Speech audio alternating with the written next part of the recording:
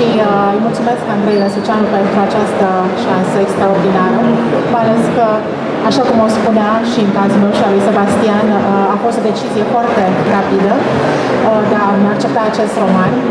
Uh, ce aș putea să spun despre el? Este realmente, deci popular de oameni care miros cu intensitate lumea viitorului. Deci sunt ca niște rachete care pornesc spre înainte și de multe ori cu riscurile uh, inerente. În sensul că, și asta trebuie neapărat menționat, fiecare dintre ei pornește de la un personaj real. Deci nu sunt niște invenții, nu, nu sunt niște ficțiuni uh, desăvârșite, toate se bazează pe niște personaje reale. Bineînțeles, ceea ce a ieșit la sfârșit este cu totul și cu totul altceva. Într-adevăr, este vorba de acest Johannes Müller, un german care populează cu imaginația lui niște lumi uh, unor nebunești.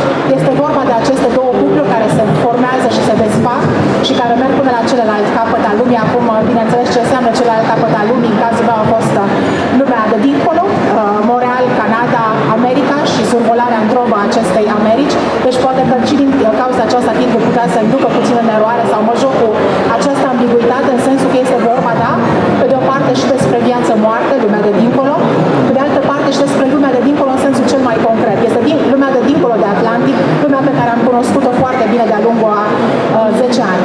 Apoi, în legătură cu acest joc între arhaic și uh, futurist, ca să zic așa, am ținut foarte tare să se întâmple așa lucrurile, pentru că realmente cred că e vorba, e o carte care poate să vorbească mai multor generații. În cazul meu a fost vorba de înghițirea acestei distanțe în decursul a 15 ani. Lumea mea nu era atât de arhaică, cea din care am venit, ca cea pe care o descriu în carte, evident, însă uh, e vorba despre același parcurs în care în 15 ani trebuie să te transformi, să te metamorfozezi de mai multe ori, așa încât să poți să înghiți tot ceea ce această lume nouă îți aruncă ca și ca provocare. Mai sunt și alte lucruri acolo, uh, mă rog, e mitul lui Kerouac și al pe drum, al faptului de a te afla în America pe drum, dar și al lui Thelmei și al lui al lui Luisa, două femei care împreună survolează acest spațiu și încă ceva foarte important, cred eu, este că nu dau niciun fel, exact cum spunea și doamna Tania Radu, nu dau niciun fel de soluție la această uh, dilemă, în sensul că nu știu ce să aleg între Amalia și decizia ei, până la urmă, de a purta acest copil în modul cel mai natural cu putință și de a-l naște cumva în această lume nouă, așa se termină cumva cartea, cu această vestită naștere, dar nici, pe de altă parte, nu știu să aleg între ea și iubitul ei, ultimul ei iubit pe care, care, cu care se desparte armă, care inventează despre, despre aceasta, poate să vă zic doar două vorbe, este pe care de a inventa ceea ce se numește uterul artificial. Deci el este cel care uh, uh, cumva ia pulsul unei noi lumi și nu știu între cei doi, între utopie și anti-utopie ce să aleg. Asta rămâne desigur la, la atitudinea